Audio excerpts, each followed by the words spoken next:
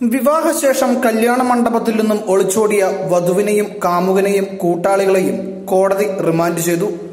വിശ്വാസവഞ്ചന ഗൂഢാലോചന ചതി എന്നീ വകുപ്പുകൾ ചുമത്തി കസബ പോലീസ് രജിസ്റ്റർ ചെയ്ത കേസിലാണ് ജുഡീഷ്യൽ ഒന്നാം ക്ലാസ് മജിസ്ട്രേറ്റിന്റെ നടപടിയുണ്ടായത് വധു കാമുകൻ കാമുകന്റെ ജ്യേഷ്ഠൻ ജ്യേഷ്ഠന്റെ ഭാര്യ കാർ ഡ്രൈവർ എന്നിവർക്കെതിരെ നവവരൻ നൽകിയ പരാതിയിലാണ് പോലീസ് കേസെടുത്തത്.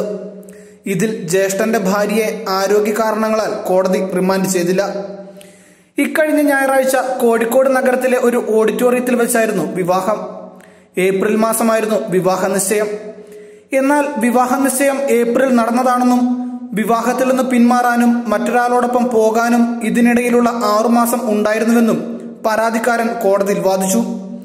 വിവാഹ നിശ്ചയ സമയത്ത് നൽകിയ രണ്ടു പവന്റെ വളയും ഞായറാഴ്ച കെട്ടിയ മൂന്നര പവന്റെ താലിമാലയും അടക്കമായിരുന്നു ഇരുവരുടെയും ഒളിച്ചോട്ടം.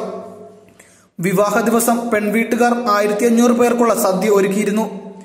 വരന്റെ വീട്ടിലേക്ക് പോകാനായി വസ്ത്രം മാറാൻ പോയ വധു സുഹൃത്തായ യുവതിയെയും ഒപ്പം കൂട്ടി ഒളിച്ചോടുകയായിരുന്നു.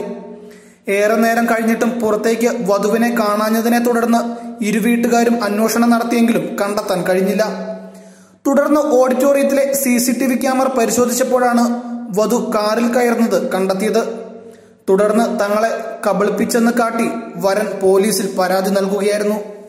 ന്യൂസ് ഡെസ്ക് വാർത്തകൾക്കപ്പുറം ന്യൂസ്.